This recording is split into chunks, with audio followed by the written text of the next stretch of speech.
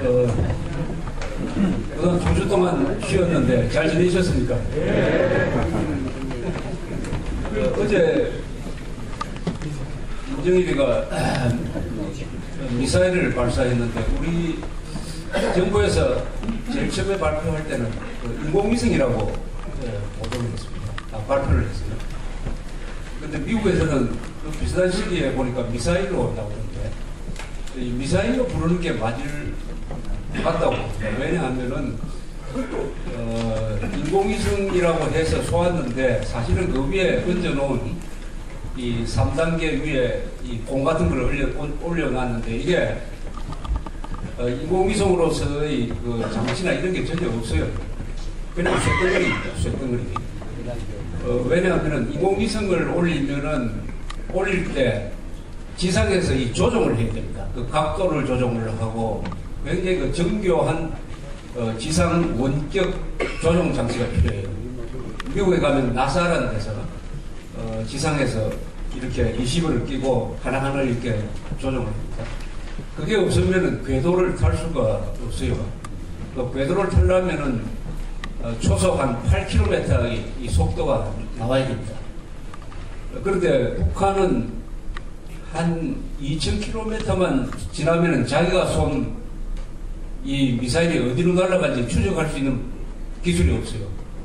그래서 북한도 자기들이 쏜 미사일이 그 태평양에 떨어졌다는 것을 미국 발표를 보고 알았어요.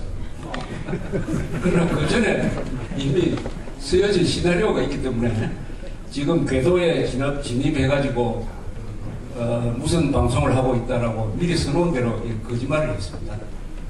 어, 그럼 왜 미사일이라 하고 쏘지 않느냐? 어, 인공위성이라고 해야 어, 국제 여론이 동정을 해가지고 뭐 인공위성 쏘는데 유엔 안보리가 제재할 필요가 있느냐?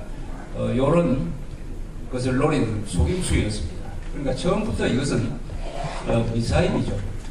어, 뭐 로켓이나 미사일은 거의 비슷한데 미사일은 군사용이고 로켓은 인공위성을 쏘는 이 평화적인 목적이다 하고 속이기 위해서 그렇게 하는 거니까 이것은 용어 통일을 어, 미사일로 하는 게 맞다고 봅니다. 미국에서는 정확하게 다 미사일이라고 했습니다. 어제 그 쏠 때 오바마 대통령이 프라하에서 연설을 하고 있었어요. 마침 그 쏘았다는 보고가 들어왔기 때문에 그 자리에서 연설을 좀 바꿔가지고 상당히 강경한 어, 의조의 코멘트를 했습니다. 그 이야기를 들으면은 상당히 이 사람이 화가 난 것 같은데 이런 표현을 썼습니다. 어, 이런 도발에는 행동을 해야 한다. 규칙은 반드시 지켜져야 한다. 위반은 반드시 벌을 받아야 한다. 말은 의미가 있어야 한다. 이렇게 이야기했습니다. 말은 의미가 있어야 한다. 어, 지금 강력한 국제적 대응이 있을 때이다. 북한은 위협과 불법적인 무기를 통하여서는 안전이나 존경을 얻을 수 없다는 것을 알아야 한다. 어, 이렇게 이야기했습니다. 어, 그래서 정확하게 미사일이다라고 이렇게 규정을 하고 어, 지나갔습니다. 어, 그런데 김정일이가 이것을 쏘고 얻은 것과 이런 것, 이렇게 차 대조표를 제가 오늘 아침에 한번 만들어 봤습니다. 만들어 보니까 대충 이런 게 좀 많은 것 같아요. 이런 게. 어떤 사안을, 사안이 나왔을 때 여기에 분석을 해보면 재밌습니다. 차변, 대변으로 해가지고 쭉 적다가 보면은 여러분 얻은 것은 뭐냐? 긴장을 조성해가지고 지금 내부적으로 와야 되는 체제를 일단 수습하는 그런 단기적 효과를. 이것은 그러니까 단기적입니다. 그 다음에 장거리 미사일의 이 발사 사거리를 과거보다 상당히 연장을 했습니다. 과거의 선거보다도 훨씬 더 많이 나갔습니다. 30km 이상 나갔어요. 그러나 미국에 도달하려면 60km 넘어야 됩니다. 그러나 탄착점을 보니까 어, 자기들이 떨어뜨리겠다는 그 지역이 아니고 훨씬 뭐 몇백 킬로미터 벗어났습니다. 벗어났습니다. 그러니까 정확도는 아직은 꿈에도 꿀 수 없는 그런 상황이다. 본질적으로는 98년에 한 번 쏘았습니다. 그리고 2006년에 쏘다가 떠나자마자 폭발해서 실패를 했습니다. 이번이 11년 만에 쏜 건데 그 사이에 이 미사일 발사 기술이 크게 크게 늘어난 것 같지는 않아요. 요게 조금 어, 이상한데 어, 북한이 그동안에 이란에 미사일 기술을 가르쳐 줬어요. 그래서 이란이 북한에서 노동 미사일을 만드는 공장을 수입을 해가지고 거기서 미사일을 만들고 있습니다. 이란은 작년에 에, 인공위성을 쏘기 위해서 미사일을 어, 로켓을 쏘았는데 진입에 실패를 했습니다. 그리고 2009년 2월 올해 2월 지난 지난 달에는 어, 성공을 했어요. 진입을 시켰습니다. 지난 지난 달에는 호메니 혁명 30주년을 기념을 해가지고 쏘았는데 저고도에 진입을 했습니다. 저고도라고 하면은 한 400km, 상공 400km 이하를 말하는데 그래서 이 기술이 북한이 상당히 도와줘서 발달한 기술이기 때문에 이란이 어, 성공했으니까 북한도 성공할 것이다 그렇게 봤어요. 그리고 이번 발사에 북한에서도 참관단을 어, 보냈다는 이야기가 있습니다. 아마 확실할 거예요. 그런데 실패를 했습니다. 인공위성으로서 실패를 했어요.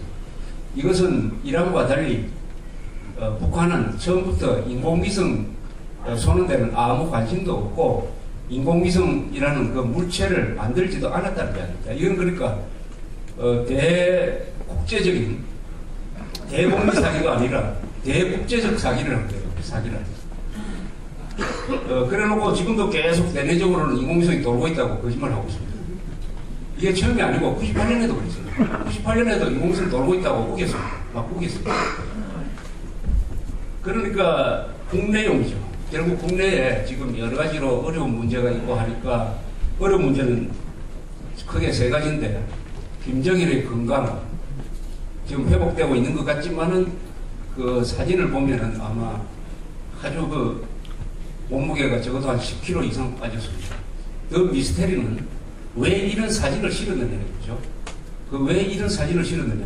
노동신문에 사진 실을 때는 반드시 김정일이가 동그라미를 쳐야 김정일 사진을 넣을 수가 있습니다. 김정일은 노동신문 편집국장입니다. 그런데 자기가 왜 이런 사진을 싣도록 했느냐? 지금 우리 정보기관에서 추측하기는 동정표를 얻기 위한 거 아니냐?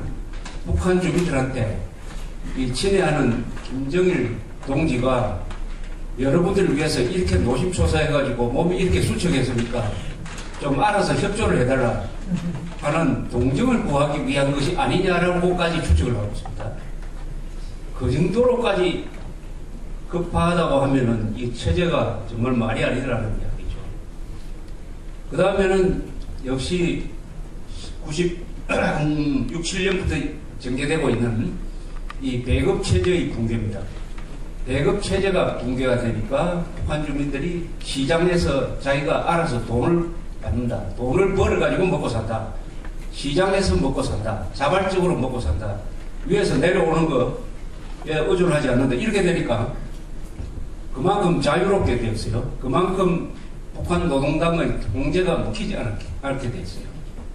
특히 지방에 갈수록 그렇게 됐습니다. 이게 북한 체제의 큰 변화로 이어지고 있고 세 번째는 어, 이제는 엘리트들까지도 94년에 김정일이가 공식적으로 등장한 이후에 어, 김일성 죽고 나서 10, 한 7년이 흘렀는데 그동안에 당신은 뭘 했느냐? 김정일이가 하자는 대로 가면은 앞이 캄캄하다 하는 이야기를 노동당 간부가 한대요. 이 김정일 따라가면은 앞이 캄캄하다는 말은 제가 지어낸 말이 아니고 최근에 북한 노동당 간부하고 만났던 사람이 이렇게 저한테 옮겨줬습니다.